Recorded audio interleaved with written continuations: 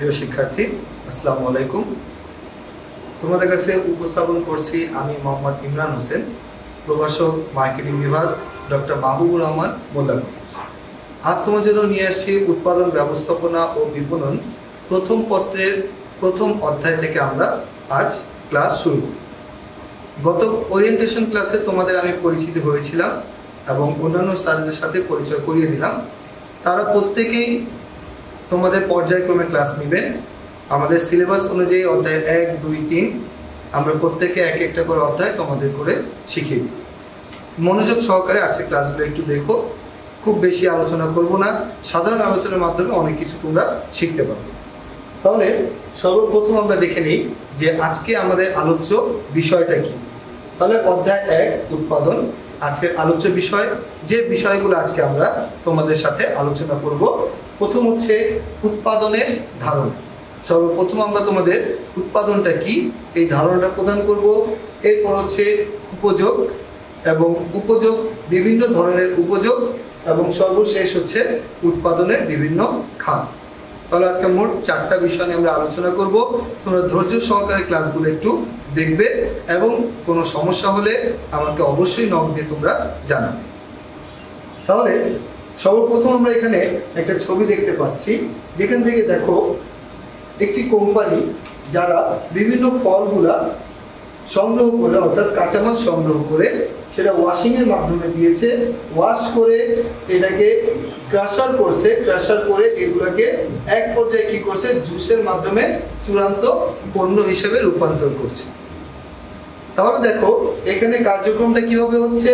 কাঁচামাল সংগ্রহ করে এগুলোকে প্রক্রিয়া অর্থাৎ প্রসেস করা হচ্ছে এবং প্রসেস করার মাধ্যমে একটি চূড়ান্ত পণ্য তৈরি হচ্ছে।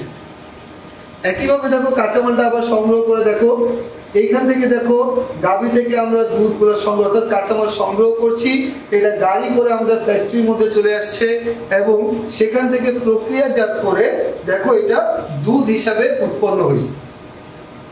অর্থাৎ প্যাকেটজাত করা হয়েছে। এখানে আমরা কিন্তু তেমন কিছু পরিবর্তন করিনি।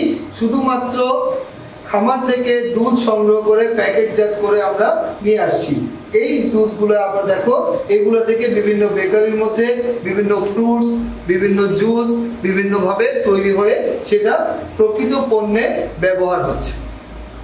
অর্থাৎ আমরা বলতে পারি কাঁচামাল সংগ্রহ করে তা প্রক্রিয়াকরণ করে কিসের মাধ্যমে প্রক্রিয়া করবে? বিভিন্ন উপকরণের মাধ্যমে। অর্থাৎ ভূমি, শ্রম, মূলধন, সংগঠন, এইগুলো প্রক্রিয়াকরণ করে চূড়ান্ত পণ্যে তৈরি করে হচ্ছে আমাদের উৎপাদন। তাহলে আমরা জানতে পারলাম উৎপাদন কি? সাধারণভাবে কোনো কিছু তৈরি করাকে উৎপাদন বলে। একেবারে সাধারণভাবে যদি আমি বলি, কোনো কিছু তৈরি করাকে কি বলা হয়? উৎপাদন বলে। কিন্তু তোমরা স্বভাবতই জানো, মানুষ কোনো কিছু তৈরি করতে পারে না। তৈরি করার মালিক হচ্ছে সৃষ্টিকর্তা একাই। মানুষ নিজে কিছু তৈরি করতে পারে না। তাহলে আমরা বলতে পারব যে, যখন মানুষ কোনো কাঁচামাল সংগ্রহ করে তা প্রক্রিয়াকরণ করে একটা পণ্য তৈরি করে, তখন সেটা উৎপাদন, অর্থাৎ অর্থনীতি ভাষা উপযোগ সৃষ্টিকে উৎপাদন বলে। অর্থাৎ কোনো কিছু তৈরি করাকে আমরা উৎপাদন বললেও আমরা স্বাভাবিকভাবে বলব যে অর্থনীতির ভাষায় উপযোগ সৃষ্টিকে উৎপাদন বলে। এখন উপযোগটা কি? উপযোগ হলো পণ্য বা সেবার অভাব মেটানোর ক্ষমতা। অর্থাৎ একটা পণ্যের মধ্যে মানুষের অভাব মেটানোর যে ক্ষমতা থাকে, সেটাকে আমরা উপযোগ বলি। পরবর্তী আমাদের উপযোগের দিকে আমরা গিয়ে এটাকে বিশ্লেষণ বিস্তারিতভাবে আলোচনা করব। তাহলে সর্বশেষ দেখা যায়, অর্থাৎ উৎপাদন হলো এমন একটি প্রক্রিয়া প্রসেস যেখানে উৎপাদনের উপকরণ সমূহ অর্থাৎ ভূমি, শ্রম, মূলধন, সংগঠন, এইগুলো ব্যবহারের মাধ্যমে প্রাকৃতিক সম্পদ সংগ্রহ ও রূপান্তর করে মানুষের ব্যবহার উপযোগী পণ্য বা সেবা তৈরি করা হয়। তো তোমরা চিত্রের মাধ্যমে প্রথমে খুব সুন্দরভাবে আলোচনাটা বুঝতে পেরেছ যে উৎপাদন কাকে বলে। এই সংজ্ঞায়িতভাবে যদি বলো, একেবারে অল্পতেই যদি বলতে চাও, উপযোগ সৃষ্টিকে উৎপাদন বলে। অর্থাৎ একটা প্রসেস উৎপাদন হচ্ছে এমন একটি প্রক্রিয়া যেখানে উৎপাদনের সকল উপকরণ ব্যবহার করে মানুষের ব্যবহার উপযোগী পণ্য তৈরি করা হয়। তাহলে এরপর আমরা বলছিলাম যে উপযোগ জিনিসটা আমরা শিখব যে উপযোগ কি। একটু আগেই বললাম পণ্যের মধ্যে বিদ্যমান মানুষের অভাব মেটানোর ক্ষমতাকে উপযোগ বলে। যেমন ধরো, তুমি একটা কলম ক্রয় করলে। এই কলমটা কিন্তু তোমার জন্য একটি পণ্য। তাহলে এই কলমটা উপযোগ কি? এই কলমের উপযোগ হচ্ছে কলমটার কালি, যেটা তুমি লিখবা। এবং এই লেখার মাধ্যমে কিন্তু সেই কলমটা তোমার অভাব মেটাবে। তাহলে দেখা যাচ্ছে যদি সেই কলমটার মধ্যে কালি না থাকতো বা কালি শেষ হয়ে যায়, তখন কিন্তু সেই কলমটাকে আমরা আর ব্যবহার করি না। অর্থাৎ সে কলমের উপযোগ তখন শেষ হয়ে যায়। এর জন্য উপযোগ হচ্ছে ওই ধরনের একটা পণ্যের ওই ক্ষমতা, যে সকল জিনিস বা যে সকল উপযোগ মাধ্যমে কি করা হয়, মানুষের অভাবটা মেটানো যায়। অর্থাৎ তুমি অভাব মেটানোর জন্য যে যে ক্ষমতাটা থাকে, সেটাই হচ্ছে আমাদের উপযোগ। তাহলে উপযোগে বিভিন্ন প্রকার উপযোগ সম্পর্কে আমরা একটু জানব, যেটা তোমার সৃজনশীলের মধ্যে সর্বোচ্চ গুরুত্বপূর্ণ অংশ। আমাদের সৃজনশীলে কিন্তু সর্বোচ্চ গুরুত্বপূর্ণ অংশ আমাদের এই অধ্যায় হচ্ছে কোন ধরনের উপযোগ, যে আমরা একটা উদ্দীপক লেখা থাকে, সেখানে তোমাদের জিজ্ঞেস করা হয়, যেখানে কোন ধরনের উপযোগের কথা বলা হয়েছে। তো উপযোগ আমাদের মোট পাঁচটি। প্রথমত হচ্ছে রূপগত উপযোগ। অর্থাৎ যখন কোনো কিছুর আকার আকৃতি পরিবর্তন করে তার চূড়ান্ত পণ্যের রূপ প্রদান করা হয়, তখন তাকে রূপগত উপযোগ বলে। যেমন ধরো, কাঠ থেকে আকার আকৃতি পরিবর্তন করে সেটা ফার্নিচারের রূপান্তর, একটু আগে দেখালাম, ফল থেকে জুসের রূপান্তর, তারপর হচ্ছে দুধ থেকে মিষ্টি বা কেকের মাধ্যমে রূপান্তর, অর্থাৎ এটার আকার আকৃতি পরিবর্তন হইতে হবে, তাহলে সেটা হয়ে যাবে রূপগত, অর্থাৎ রূপটা পরিবর্তন হবে। এরপর চলে আসছে আমাদের স্থানগত উপযোগ অর্থাৎ পণ্যকে এক স্থান থেকে অন্য স্থানে স্থানান্তর করাকে আমরা স্থানগত উপযোগ বলি। আমরা কিন্তু দেখা যাচ্ছে একটা পণ্য, যেমন ধরো, একটা মোবাইল চায়নার মধ্যে উৎপাদন হচ্ছে, কিন্তু সেটা যদি স্থানান্তর না করা হতো, তাহলে কিন্তু আমরা সেটা ব্যবহার করতে পারতাম না। তাই ওই যে পণ্যটা স্থানান্তর করা হলো, অথবা রাজশাহী, রাজশাহীর মধ্যে প্রচুর পরিমাণ আম ফলন হয়, কিন্তু এই আমটা আমরা ঢাকায় নিজের বাসার নিচে গিয়েও সেটা ব্যবহার কিনে ক্রয় করে ব্যবহার করতে পারছি বা ভোগ করতে পারছি। তাহলে এই সকল কিছুই কিন্তু আমাদের স্থানগত উপযোগের জন্যই সম্পন্ন বা সম্ভব হয়েছে। তাহলে পণ্যকে যখন আমরা এক স্থান থেকে অন্য স্থানে স্থানান্তর করি, তখন সেটা হয়ে যায় স্থানগত উপযোগ, এরপর আমাদের সময়গত উপযোগ। অর্থাৎ এক সময়ের পণ্য অন্য সময় ব্যবহার করা। যেমন ধরো যে আমের কথাই বললাম, এখন কিন্তু এমনভাবে সংরক্ষণ করা হয় যে শীতকালেও আমরা মাঝে মধ্যে দেখা যাবে যে আমটা পেয়ে যাচ্ছি। তাহলে এই যে এক সময় পণ্য সংরক্ষণ অর্থাৎ গুদামজাত করার মধ্যে যে উপযোগটা সৃষ্টি হয়, সেটা হচ্ছে আমাদের সময়গত উপযোগ, এরপর আছে আমাদের সত্যগত সত্য বলতে মালিকানা বোঝায়। অর্থাৎ যখন আমি পণ্যটা ক্রয় বিক্রয় করি, তখন কিন্তু ধরো যখন তুমি একটা দোকানে গেলা, কোনো একটা বই ক্রয় করবা, ওই বইয়ের মালিকটা কিন্তু সেই দোকান কর্তৃপক্ষ। কিন্তু যখন তুমি সেটা ক্রয় করবে, একটা টাকার বিনিময়ে ক্রয় করবা, তখন সে মালিকটা কিন্তু তুমি হয়ে গেলা। অর্থাৎ সত্যটা পরিবর্তন হয়ে গেল। কিছুক্ষণ আগ পর্যন্ত সত্যটা ছিল, সত্ত্বাধিকার ছিল।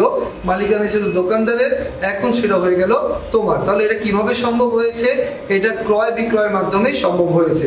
অর্থাৎ পণ্য ক্রয় বিক্রয়ের মাধ্যমে, মালিকানা পরিবর্তনের মাধ্যমে সৃষ্ট উপযোগ হচ্ছে আমাদের সত্যগত উপযোগ এবং সর্বশেষ হচ্ছে আমাদের সেবাগত উপযোগ।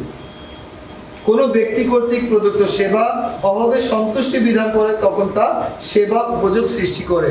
অর্থাৎ এইটা হচ্ছে এমন ধরনের একটা উপযোগ যখন যেটা আমরা হয়তোবা দেখা যাচ্ছে না চোখে, কিন্তু সেটা সেবা প্রদানের মাধ্যমে আমাদের অভাব প্রদান করছে। তাহলে সেটা হচ্ছে আমাদের সেবাগত উপযোগ। যেমন ডাক্তারের পরামর্শ, উকিলের পরামর্শ, শিক্ষকের শিক্ষকতা, এই সকল জিনিসটা আমাদের সেবাগত উপযোগের মধ্যে আসে। তাহলে এখানে আমাদের মোট পাঁচটি উপযোগ আছে। তোমাদের প্রশ্নে অনেক সময় এই ধরনের প্রশ্ন করা হয়। একটা উদ্দীপক থাকবে, সেখানে জিজ্ঞেস করা হবে যেখানে কোন ধরনের উপযোগের কথা বলা হয়েছে। এবং এরপর আমরা আসছি আজকের সর্বশেষ আলোচনায়, যেটা হচ্ছে উৎপাদনের বিভিন্ন খাত। অর্থাৎ আমাদের যে উৎপাদন করা হয়, এই উৎপাদনকে তিনটা খাতে ভাগ করা হয়েছে কৃষি খাত, শিল্প খাত এবং সেবা খাত। তাহলে কৃষি খাত কোনগুলা? যে সকল খাত আমাদের খাদ্য সামগ্রী ও শিল্পের কাঁচামাল যোগান দেয়, সেটাকে আমরা কৃষি খাত বলি। এটাই কিন্তু উৎপাদনের সর্বপ্রথম খাত। অর্থাৎ আমরা যেই উৎপাদনের মাধ্যমে আমাদের খাদ্যগুলা পেয়ে থাকি সরাসরি অথবা বাকি যে উৎপাদন কাজগুলো চলবে, এই উৎপাদনের যে কাঁচামালগুলো লাগবে, এই কাঁচামালগুলো যেই খাত থেকে আসে সেগুলোকে আমরা কৃষিখাত বলি। এরপর শিল্প খাত এই যে কাঁচামালগুলো আমরা পাইলাম কৃষিখাত থেকে, সেই কাঁচামালগুলোকে যখন আকার আকৃতি পরিবর্তন করে আমরা চূড়ান্ত পণ্যে রূপান্তর করি, তখন সেটা হয়ে যায় শিল্প খাত এবং সেবা খাত, অর্থাৎ যেখানে কোনো পণ্যের দৃশ্যমান থাকবে না, অদৃশ্যমান কিছু বিষয় সেবা প্রদান করা হবে, সেই মাধ্যমে যে খাতটা হয়, সেটা হচ্ছে আমাদের সেবা খাত।